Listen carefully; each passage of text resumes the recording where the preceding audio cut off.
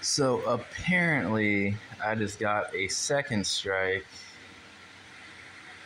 on my channel for shooting a skateboard with uh, my flare gun, the flare gun, as you uh, see in this video.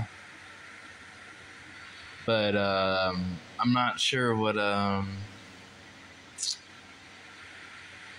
what was uh, so wrong with this video in uh, comparison to all my other flare gun videos that did not get strikes. Like, I'm so confused on this. Like, why is.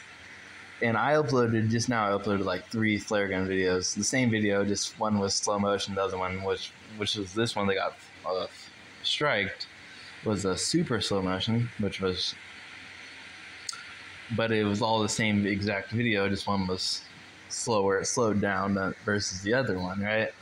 So I'm not sure why this one uh, got age restricted and then I got a strike for it when the other ones didn't, and all my other videos that are similar contact content did not get striked. Like this is not making any sense to me. Like, yeah, go ahead. And you can, can read what they're saying.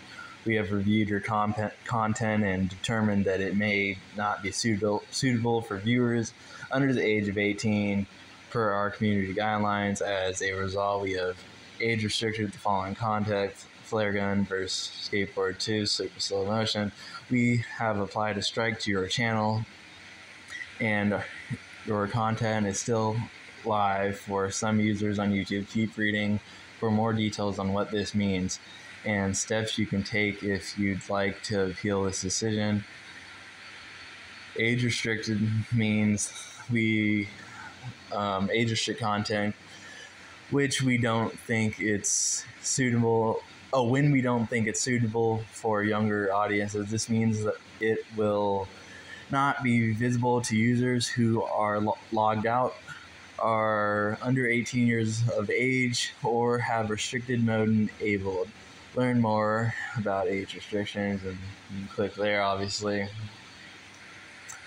Then it says what our policy says content that encourages or promotes harmful or dangerous activities that may have a risk to risk of serious physical harm or death is not allowed on YouTube.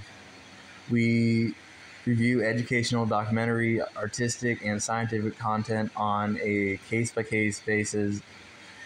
Limited um, acceptations are made for content with a significant and appropriate context and where the purpose of posting is clear. Um, but that's where I'm a little bit confused. Uh, nobody got hurt in the video. Nobody died. Um, nothing was damaged that wasn't supposed to be damaged. Um, I'm really not understanding how this violated that context on the that it doesn't incur that YouTube's policy says any content that encourages or promotes harmful, dangerous activities that risk um, serious physical harm or death is not allowed on YouTube. But um, my thing didn't encourage any harmful activities. Nobody got hurt. Nobody got killed. Um, yeah, I'm kind of confused on uh, how this was harmful or dangerous to anybody in the video. Um,